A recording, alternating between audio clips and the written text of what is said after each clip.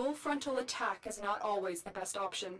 Using your stealth abilities eliminate all enemies without being detected.